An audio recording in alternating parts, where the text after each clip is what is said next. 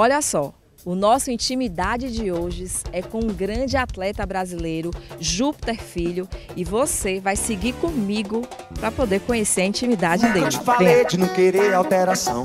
Vem da liberdade abraçar a federação. No nosso Intimidade de hoje, né, a gente tem bastante surpresa para você que fica ligadinho, aguardando tudo que vai estar acontecendo. Quem está aqui ao meu lado tem apenas 1,80m, pesa 90 quilos, competidor nas categorias senior, master e adulto. Ele é o professor de jiu-jitsu, graduado faixa roxa e ainda é um atleta de competição da equipe Corpo e Mente, além de personal trainer e professor de jiu-jitsu da Academia Fórmula. E ao meu lado, quem está aqui, gente, é o atleta Júpiter. Boa tarde, Júpiter. Boa tarde, meu. É um prazer estar com você e poder compartilhar um pouquinho do meu dia a dia e da, do que vem acontecendo no, no mundo das competições do jiu-jitsu.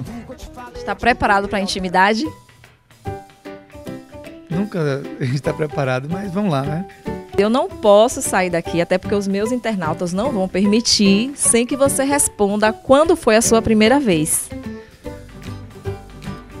Eu acho melhor ele respirar fundo. Nós vamos tomar um cafezinho aqui delicioso. Por favor, pode tomar seu café. Vamos tomar o nosso cafezinho sobeza. E daqui a pouco ele responde pra gente. Olha só, só pra começar, eu vou perguntar assim: como é estar no Pan-Americano e ganhar? É a realização de um sonho. É você, você con concretizar, você concluir aquilo que você imaginou, você planejou e você correu atrás. E quando você conquista é um sem palavras para explicar. É uma emoção grande. Ele já está emocionado. Mas assim, só para ficar claro pra gente, como foi que começou, que você assim, sentiu que realmente a sua aptidão era para seguir essa carreira de atleta? É, eu entrei no, no, Exército aos 18 anos e desde o primeiro ano eu já era envolvido com atividades esportivas lá dentro. Então, com 7 anos, eu recebi a informação de que o limite máximo seria 8. Então, quando, eu resol... quando eu fui sair com 8 anos, eu fui fazer educação física e no curso de educação física eu decidi entrar nessa modalidade que eu admirava, mas eu não tinha tempo por conta da vida militar. E quando eu saí do exército e que eu entrei na faculdade, aí eu me de... comecei a me dedicar e na primeira competição, eu vi que eu tinha jeito para coisa, eu comecei a me dedicar mais e mais e tentar fazer tudo aquilo que me levasse a um, uma competição grande. Por falar em competição grande, a gente sempre imagina lutador de jiu-jitsu. Você é brigão? Não. É, eu acho que toda criança teve a, a, fase de briga, aquela fase de ginásio, no máximo, mas que normal, tudo dentro da normalidade, né? Agora, como atleta, não. Como atleta, não. Assim, é, a gente sabe das dificuldades que é você encarar o esporte, você seguir carreira. Em algum momento você já pensou em desistir? Mel, eu, eu só não pensei em desistir porque tudo que eu planejei em traçar, eu planejei com, com meus recursos, com recursos de minha família, com o apoio de meus pais. Porque a maioria dos atletas, eles pensam em desistir quando eles traçam planos, eles vão correr atrás do sonho, mas eles dependem de patrocínios, ficam na dependência. E aí quando você não tem, quando você não consegue, é aí que vem aquela meio que decepção, e aí você pensa em desistir. Eu não pensei justamente porque tudo que eu planejei, eu só queria fazer dentro das minhas condições. Eu não ficava, ah, eu vou pro Mundial, mas eu só vou pro Mundial se eu conseguir um patrocinador que, que pague a, a viagem toda, entendeu? Então só por isso eu não pensei, ainda não pensei em desistir. Que ótimo. Olha, Júpiter, é, quando toquei no assunto família, eu senti que você ficou assim meio balanceado. E você conseguiu formar uma família mesmo nesse corre-corre, nessa vida de atleta, tantas viagens e competições. E hoje, o que é a sua família para você? Família é a base de tudo. Família é quem lhe dá o suporte, é quem lhe apoia, é quem tá com você na hora que você ganha, na hora que você perde, na hora que você tá cansado, na hora que você tá bem. Família é a base.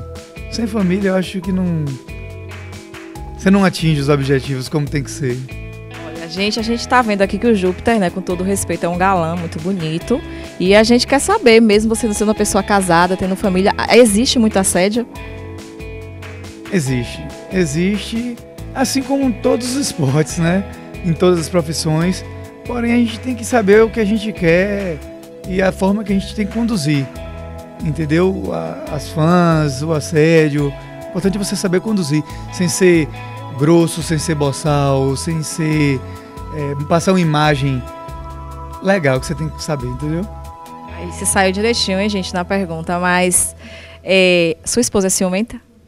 É, na verdade, é a minha noiva. Eu tô no meio do caminho. Ainda não passei pro lado esquerdo, mas ela é ciumenta. Ela é ciumenta, porém, não deixa transparecer. Ela parece uma pessoa muito tranquila. Ficou bem emocionado, hein? Olha só, a gente sabe que na vida de um atleta, na nossa vida mesmo, no nosso dia a dia, como pessoa, não só como atleta, a gente tem as derrotas, né? E como você encara quando acontece de não ganhar uma competição e ter que recomeçar tudo de novo? Eu acho que a derrota, ela, ela, ela, você tem que tirar algumas lições dela.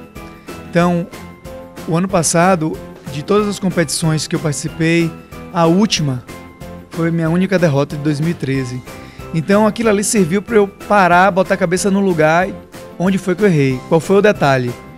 Então serviu para eu estudar meu, meu jogo, estudar meu, meu tipo de treino e ver onde foi aquela falha para eu não errar mais. Mas assim, eu encaro com bastante naturalidade. Se o oponente foi melhor, é porque ele teve algo melhor, um ponto melhor. Então eu vou procurar me fortalecer naquele ponto e vir mais forte. Foi o que eu fiz.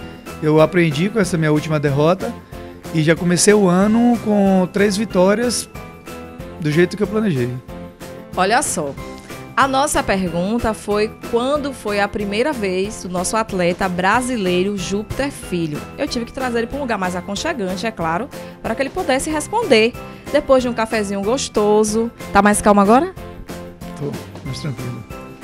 Ele tá mais tranquilo, mas responde pra gente, quando foi a sua primeira vez? Um tempinho, viu? É, acho que foi até meio tarde para os padrões de hoje. Devia ter 15 anos. Eu vou concluir a minha pergunta. A primeira vez que você ganhou uma medalha? É isso mesmo, foi com 15 anos. Olha só, o nosso atleta ficou um pouco nervoso. Nós estamos invadindo a intimidade dele, mas assim ele vai ter que me explicar como foi essa conquista. São quantas medalhas? 16 medalhas. Isso. Veja bem, é, as primeiras correspondem a cada uma a uma etapa do Campeonato Baiano, que é realizado 12 etapas no ano, uma a cada mês. E aí o, o vencedor de um maior número de etapas, ele sagra-se campeão baiano. Então, essas que você está vendo aqui são todas das etapas do baiano. Aqui, brasileiro. Explica pra gente essa do brasileiro um pouquinho. Certo. O Campeonato Brasileiro ele é dividido em regiões região Nordeste, região Norte, região Sul. E em cada região, os três melhores atletas eles já estão habilitados a participar do Mundial. Essa daqui foi o brasileiro da região Nordeste, onde eu fiquei em primeiro, e isso me habilitou, foi realizado na cidade de Feira de Santana, é, onde tiveram atletas do Nordeste todo. Então eu fiquei em primeiro, aonde me habilitou a disputar o Mundial em São Paulo. Isso é muito legal. Que foi, que foi essa daqui no mês de agosto que para mim foi a, a mais importante. Depois dessa daqui do Mundial, veio logo um mês após, também na cidade de São Paulo, que veio o Pan-Americano, que foi uma competição muito importante também, aonde na, na última luta, na final, eu empatei com um peruano e na divisão dividida dos árbitros, eles deram a vitória pro peruano. E aí eu fiquei com o segundo. Essa foi de 2013, né? Todas essas 2013. Olha, Júpiter, eu nunca usei uma medalha na minha vida, né? A gente não competi em nada, mas assim, dá o prazer de colocar essa de 2013, claro, né? Vou usar aqui durante a entrevista final. Gente, estou recebendo a medalha, olha, nosso campeão, Júpiter Filho. A mais importante. A, a mais importante no quarto, hein? Ai, como é o sua noiva? Laís Teixeira. Laís Teixeira, amor, é só amizade, viu? Aqui a gente é intimidade mesmo. E a gente vai fazer intimidade com você para saber os segredinhos do Júpiter que ele não quer contar. E essas duas aqui, Júpiter? Essas duas foram do, da primeira etapa do Baiano de 2014, onde foi realizada na cidade de Lauro de Freitas, no mês passado. E eu participei de duas categorias e consegui também o primeiro lugar nas duas. Então foram as duas que abriram a temporada 2014, onde dia 23 vamos participar da segunda etapa. Eu junto com toda a equipe do Bahia, é, no Shopping Bela Vista, em Salvador dia 23 agora de março. E essa abriu a temporada, né? 2014. Olha só, e nós vamos continuar na torcida para que mais medalhas cheguem e nós vamos aqui conferir. Mas eu vou falar um pouco agora sobre o seu treino e sobre suplementos, né? Que hoje em dia a gente vê assim muitos comentários, muitos atletas que são afastados de competições devido ao uso de alguns que não são suplementos, na verdade, são os de anabolizantes, não é isso? Eu tô vendo que aqui também você tem alguns. Eu vou pedir para que você mostre pra gente e explique um pouco mais. Perfeito. Então, já está aqui algum dos suplementos, né, que você faz uso realmente é necessário, Júpiter, usar ou não? Mel, o mais importante é você ser acompanhada por um profissional, um especialista. No meu caso, eu sou orientado por um nutricionista esportivo. Eu sou educador físico, sou formado, eu tranquei o curso de nutrição. Porém, eu sou acompanhado por um profissional formado em nutrição e pós-graduado em nutrição esportiva. É fundamental, sim, para um atleta que quer um rendimento. Por quê? O suplemento, ele não é um alimento ele vai suplementar, ele vai te dar um algo mais. E para o atleta que quer um rendimento maior, ele precisa de nutrientes que só a alimentação não vai te dar, entendeu? Então, um exemplo aqui, eu trouxe os que eu uso, é um, um polivitamínico, é uma vitamina de A a Z que vai suprir minha carência de cobre, zinco, ferro, de certos minerais que eu não vou encontrar na alimentação. Então não vai haver uma sobrecarga, porque o que meu corpo absorver ótimo. O que não precisa, ele elimina. Olha só, você falou sobre esse aqui, né? Não é, não é bem a, a, nossa praia tá falando sobre isso, mas assim, para as pessoas que estão acompanhando, assim, qualquer pessoa pode tomar ou só você porque tem uma vida de atleta, com um treino frequente. Qualquer pessoa pode tomar. Porém, é necessário que tenha uma indicação de um profissional, porque esse profissional ele vai saber se você precisa ou não, através de exames, através de uma anamnese, entendeu? Assim, não há uma sobrecarga, como eu te falei. Porém, para a pessoa utilizar, precisa de uma orientação. Olha, que fique bem claro para vocês que estão acompanhando nosso Intimidades, que assim, ele está falando dos, dos, produtos que ele faz uso, que são indicados para nutricionista, porque ele é um atleta e tem treino, para que você também não pegue aqui e copie e de repente queira usar. Continue. Ok. Tem um aqui também é, uma vitamina C, porque o atleta que faz uma atividade física intensa, ele produz muitos radicais livres. Isso causa morte celular, envelhecimento precoce.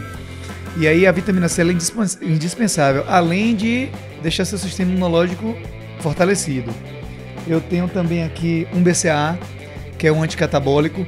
É um suplemento que a gente usa antes do treino intenso e pós-treino intenso, com a finalidade de quê? De segurar sua massa magra, sua massa muscular, evitar que você perca músculo durante atividade intensa. É um anticatabólico. Você vê que são suplementos são básicos. Aqui você vê um ômega 3. E esse é bastante indicado para mulheres, eu vejo muito como falarem sobre isso. Muito, muito. Principalmente na questão de, de das articulações, dos radicais livres.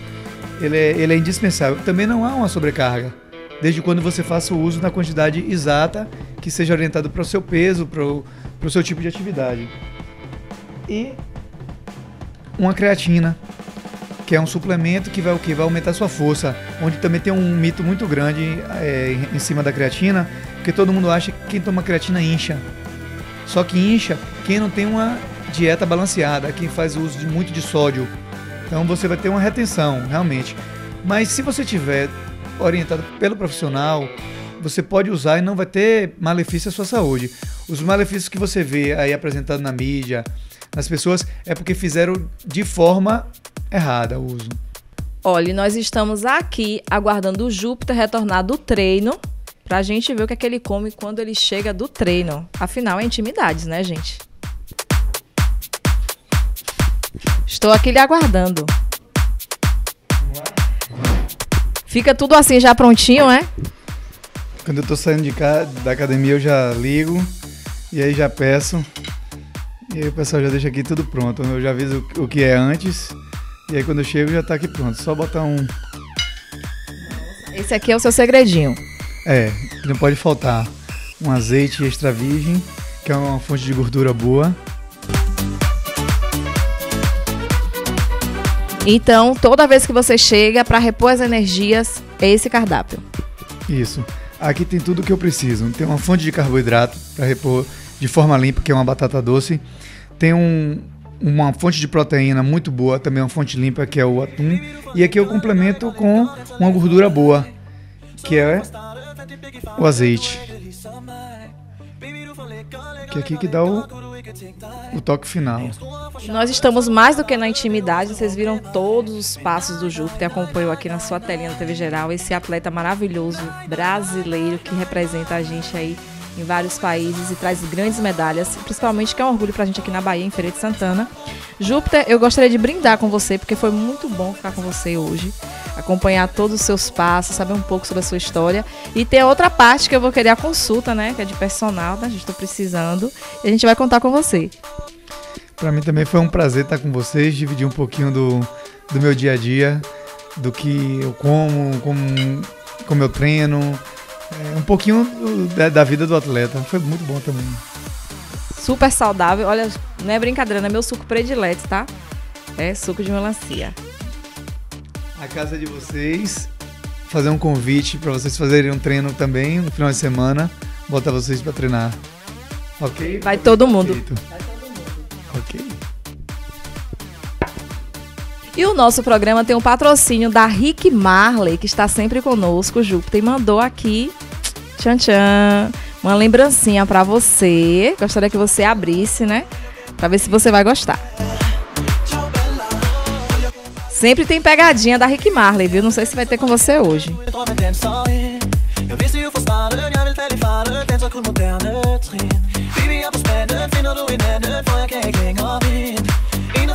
Olha só, vamos ver. Curiosa.